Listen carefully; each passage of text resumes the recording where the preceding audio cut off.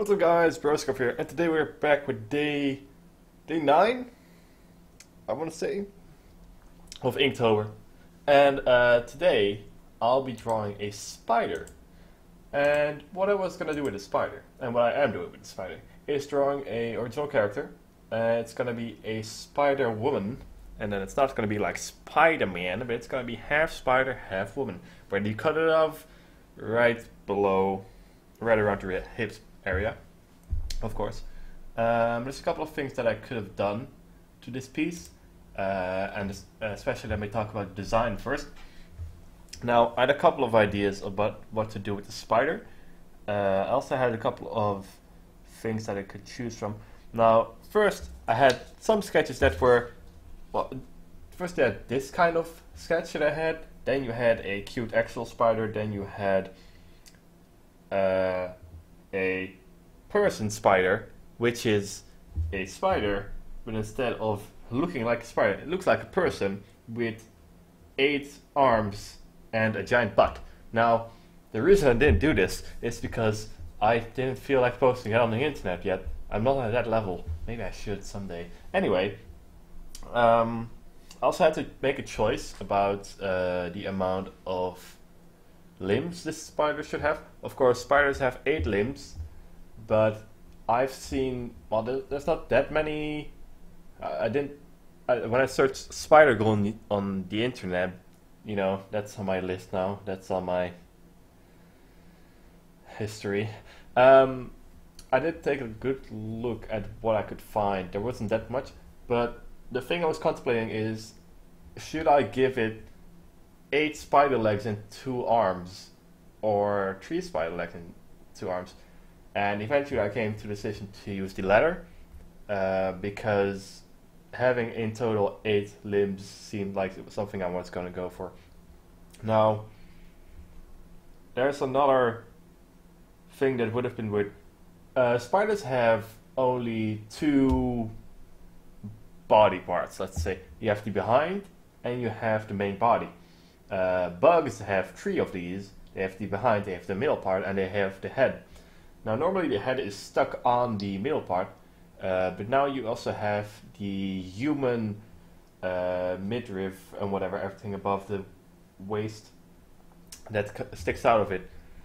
Um, I did this because I thought it looked better, and also because I didn't want to paste a face on that black dot. I think if you want to make something really creepy, that that's the way to go. Uh, there's also ways to make a very, very spider-like human, like uh, lots of hairs, not any kind of prettiness. Uh, but those are all design choices I made. I like the outcome. I like what I did.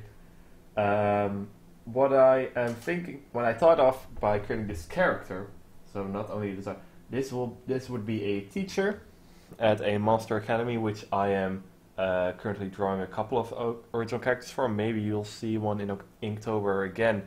Otherwise, it'll be posted afterward, afterwards. Um, and this character is kind of iffy if I will use it because I'm still thinking about the whole premise. Is it a I want to make it a hidden academy kind of Harry Potter style, so like the usual world doesn't know about it. But then you'd think about what do these kind of characters do they live with humans or do they not? Uh, I want it to be quite light-hearted, I guess. I'm not sure yet. Maybe quote unquote light-hearted. Like no, there's no a lot of gore, but things that needs to eat human or whatever. I'm still working it out and just creating some characters that I like. So I I really like the design. I do want to use it, but I have to think about the setting first before actually making that decision. Um, anyway, teacher uh, wearing a, you know, a what's it called? A normal T-shirt, button-up T-shirt with a tie. Um, likes knitting. I, I thought it would be funny for a spider. It's very original, I know. Um, which she used in her hair just to take a lot of hair out of her face because of the eight eyes she has, because spiders have eight eyes. I think, I hope. If they has less, then I, I messed up, but you know, whatever. Um, yeah, I did make two quote unquote variants. Uh, one is pretty much a grayscale and a screen toned one, and the other is colored.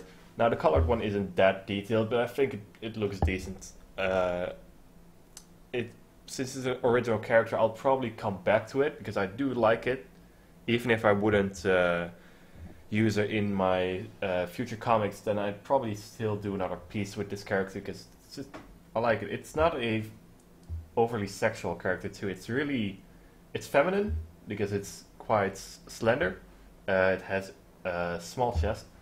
She has a small chest, and I kind of really like that because I, I don't know it, it it's not like it's it it has some sex appeal, but it's definitely not a major part of it. Now you, I might say that it's a fetish because it's a teacher, and I'd say fuck off. That's just teachers aren't automatically sexy. uh, do we have anything else to add? Talking personality-wise, I'd think that it wouldn't be a terribly uh, bad person uh, in the monster universe. Let's say that and she would be quite quite strict, uh, but you know, not nice, so she could uh, let you off the hook once in a while. But if you really fuck up, that you your detention would be hanging from the ceiling, uh, head towards the floor in spider web. You know, that would be terrible and terrifying, even for other monsters, because who likes hanging upside down except for bats, but vampires and such. But you know, that's all. That's all lore that I'll need to work out anyway, uh, I hope you enjoy this drawing or you like this drawing. Uh, I certainly do. I did like making it. Uh, it took me. How long did it take me? Like maybe maximum of two hours. I'm not sure. It'll be in the description. Uh, I'm not counting design aspects because I do that before I start drawing. Most of the time, well, I didn't design the entire thing. I had the base character model sketched I had the base face sketch, which became a little bit more um, angular, let's say. I had a very round face, which would be better on a childlike character. So I'm kind of happy with changing it up, doing a little uh, slimmer face. Really gives her a more adult look, and I'm pretty happy with it. Uh, anyway, that's pretty much all I have to say. So yeah, comment down below if you like this drawing, why you like this drawing, if you want to. Uh, if you want to criticize it, you're also free to do that. Uh, please leave a like, uh, subscribe if you want to keep updated with my videos. October will, this entire October will be at least one video a day, so you know, you can see what I do.